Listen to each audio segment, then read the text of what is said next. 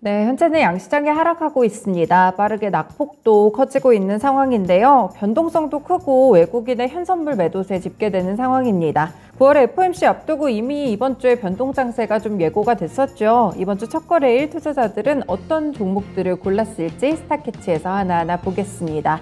네, 증권통통에서 볼 텐데요. 먼저 조회상위 리스트입니다. 오늘 분위기가 좀 많이 어둡다 보니까 종목별로도 현재 하락하고 있는 종목들이 훨씬 더 많게 관측 나오고 있습니다. 삼성전자 같은 경우에 현재 보합권 정도의 흐름을 기록하고 있는데요. 외국인이 벌써 4거래일째 매도를 하고요. 그나마 지수 대비 선방을 하는 점은 기관이 매수하면서 주가를 어느 정도 방어를 해주고 있습니다. 어, 삼성전자 현재도 강보합권에서도 또 보합권 전환이 되면서 조금씩 좀 어두운 분위기로 가는 모습 나타나고 있고요. 2위를 보시면 미국의 다우 산업지수가 있습니다. 역시나 9월 FOMC가 국내 증시에서도 빅 이벤트지만 무엇보다 미증시에서 큰 이벤트가 되겠죠. 이를 앞두고 여러 가지 쇼크들, 페덱스발 쇼크라든지 경기 침체, 그리고 금리 인상에 대한 부담감, 이 때문에 미국 증시도 계속해서 하락하는 모습으로 관측됩니다. 네, 3위에는 모트렉스가 있는데요. 그나마 조금은 방어가 되고 있는 시세에 나타나고 있습니다. 이렇게 이슈가 조금 따라붙으면서 이런 종목들만 현재 빨간불 켜는 모습 나타나고 있고요. 4위에는 코스피 지수 현재는 1%대 중반까지 조금씩 더 저점을 낮추고 있습니다. 네, 5위에는 지난주에 소개해드렸던 OCI도 올라와 있는데 계속해서 좀 밀립니다. 조정 구간 거치게 되면서 오늘도 낙폭이 조금 큰 편으로 집계가 되고 있는 상황이고요. 그나마 또다시 방어하고 있는 종목 한 가지 더 현대차입니다.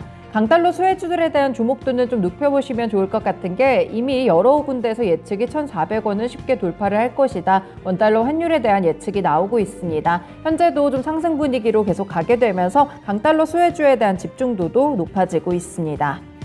네, 7위에는 조금 급락 종목이 있는데요. 바로 현대바이오입니다. 어, 몇 가지 이슈들이 있었는데 이 주가가 지난주 금요일에 22%대 급락으로 거래를 마쳤습니다. 어, 한, 한 가지 해프닝이 있었는데 임상 콜센터 업무 착오 때문에 코로나19 치료제의 임상 이상이 중단됐다는 소동이 벌어졌습니다.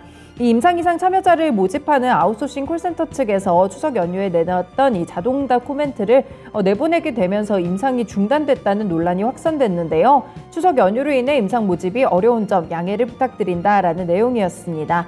사실이 밝혀진 것이 임상 중단은 아니었고요. 어, 이후에 현대바이오 측에서 임상 콜센터 측에 또 시정을 요청을 했습니다. 이렇게 논란이 일단락되기는 했지만 굉장히 시가총액이 큰 종목이 또 이런 해프닝이 있었다는 점에서 주주들의 좀 분노를 사는 일이 발생을 했습니다.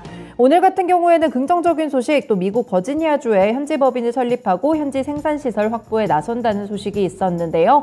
바이든 정부가 바이오 쪽도 약간의 이렇게 미국 쪽으로 어, 강화하는 모습, 중국을 견제하는 모습을 좀 기록하게 되면서 이런 소식들도 어느 정도 힘을 받을 수 있을 법한데 오늘 같은 경우 계속해서 급락이 좀 이어지는 모습으로 관측됩니다. 네, 8위와 9위를 보시면 대형주들이죠. 카카오와 네이버인데 음, 계속해서 주가가 좀 하락하고 있습니다. 결국에는 성장주들에 대한 부담이 되고 있는 금리 인상 이 부분을 보셔야 될 것 같고요. 오늘 두 종목 모두 나란히 신저가 부근 다시 한번 내려갑니다. 현재 카카오의 주가 수준은 6만 원대 중반 수준이고요. 네이버 같은 경우에도 21만 원대 정도의 이런 시세를 기록하고 있습니다. LG 에너지 솔루션도 좀 살펴보시면 오늘은 좀 큰 폭으로 하락이 나오고 있는데 이 부분은 수급적인 부담으로 보시면 되겠습니다. 외국인과 기관의 동반 매도세 나오고 있습니다. 특징주에서 조금 더 자세히 보시죠. 네, 다음으로는 관심 상위 리스트인데요. 이쪽도 마찬가지로 분위기가 밝지는 않습니다. 하락하는 종목들이 훨씬 더 많고요. 소개해드렸던 일단 1위에는 모트렉스 상승하는 종목으로 나와 있고요. 잠시 후에 어떤 특징들이 있는지 조금 더 보겠습니다. 한미약품 같은 경우에도 관심 상위 리스트에 현재 들면서 보합권 정도의 나름 시세 방어하는 모습 가져가고 있고요. SPG는 고점에서 좀 조정을 받습니다. 오늘도 1% 정도 하락합니다. 그리고 이 조정이 다시 크게 나오고 있는 종목들 지난주부터 시작이 됐었죠. 바로 폐배터리 관련 종목들입니다. 많이 눈에 띄실 것 같은데 4위의 성일 하이텍 7%대 하락세고요. 코스모화학 6% 넘게 밀립니다. 아래쪽으로 내려가 보시더라도 에코프로도 오늘 6%대 내림세로 집계가 되고 있는데요. 성일 하이텍, 코스모화학, 에코프로 공통 키워드는 폐배터리입니다. 이런 조정들이 지난주 금요일부터 지속되고 있다는 점도 보시면 될 것 같고요. 네, 에코플라스틱 같은 경우에는 또 한 가지 이슈가 있기 때문에 잠시 후 특징주에서 조금 더 보실 것 같고요. 어, 7위에는 코리아 SE가 있습니다. 계속해서 상한가 토치가 나왔던 종목인데 리튬 사업이 부각을 받으면서 좋은 시세를 펼쳤었죠. 일단은 많이 오른 고점에서 숨고르기에 들어간 모습으로 관측됩니다. 그리고 8위에는 네이버 오늘 신저가 경신하면서 관심 상위에도 들어가 있고요. 9위에 서울 반도체까지 확인됩니다. 네, 이렇게 조회 상위와 관심 상위 리스트들 봤고요. 특징주 세 가지 살펴보겠습니다. 네, 첫 번째 종목은 오늘 조회 상위에서 3위 그리고 관심 상위에서 1위를 차지하고 있는 모트렉스 보실 텐데요. 네, 국토부가 오늘 핵심 정책 과제인 모빌리티 혁신을 위한 자율주행차와 도심항공교통 UAM이죠. 모빌리티 분야의 투자 방침을 내놨습니다. 이 원희룡 국토부 장관이 브리핑을 열고 정부 임기 내 완전 자율주행차나 UAM 같은 미래 모빌리티를 구현되고 또 우리 기업이 글로벌 시장을 선도할 수 있도록 정부가 뒷받침해 나가겠다라는 부분들을 밝혔는데요. 이런 모빌리티 혁신 로드맵의 첫 과제로 운전자가 필요 없는 완전 자율주행 시대 개막이 꼽혔습니다. 국토부는 올해 말까지 일본과 독일에 이어서 세계에서 세 번째로 레벨 3에 해당하는 부분 자율주행차를 상용화할 계획이라고 합니다. 그리고 2025년까지는 완전 자율주행하는 버스나 셔틀을 추진하기도 하고요. 2027년까지는 완전 자율주행의 상용화를 도입하게 됩니다. 이렇게 기존의 대중교통 체제를 아예 자율주행으로 전환하겠다라는 목표를 밝혔는데요. 모트렉스가 이쪽으로 주목을 받는 이유는 애플 카플레이 그리고 구글의 안드로이드 오토죠. 이 자율주행 인포테인먼트 플랫폼 기술 인증을 획득했기 때문입니다. 지난해 자회사를 통해서 국토부가 주관했던 이 차량 사물간 통신 기반 화물차 군집주행 시연에 참여하기도 했었는데요. 이 자율주행차가 본격적으로 보급되는 것을 목표로 새만금 자율주행 테스트베드에서 사업까지 진행하고 있습니다. 이렇게 모트렉스 좀 지난주부터 주목을 받았는데 일본 보겠습니다. 네, 모트렉스가 사실 한 차례 굉장히 급등이 나왔던 적이 바로 여름입니다. 무상증자 이후 권리락일 이후 급등하는 랠리를 펼쳤던 모습이 여기 차트를 통해서 남아 있는데요. 이때 무상증자 테마가 상당히 조명을 받았었죠. 이 때문에 권리락 이후에 상한가까지 올라가는 모습이었습니다. 하지만 이후에 짧게 올라간 다음 조정을 통해서 다시 원래 주가 수준으로 내려오는 모습이었고요. 이후로는 조금씩 바닥 잡고 다시 상승 탄력 높이면서 최근에 다시 거래량을 동반하는 상승세를 보여주고 있습니다. 네, 현재 같은 경우에는 다시 좀 하락 쪽으로 나타나고는 있는데 확실히 시장 대비해서는 그래도 버티는 모습 나타났고요. 지난주 금요일에 급등 나왔다는 점도 특징이 되고 있습니다. 네, 다음으로는 대형주 두 번째 종목 LG 에너지 솔루션 살펴보겠습니다. 네, LG 에너지 솔루션 같은 경우에는 사실 굉장히 긍정적인 주가 흐름을 기록했었죠. 특히 이번 달 들어서 상당히 좋았습니다. 미국의 인플레이션 감축 법안 수혜주로 부각을 받았기 때문인데요. 지난 2월 이후에 약 7개월 만에 50만 원 선을 회복하기도 했습니다.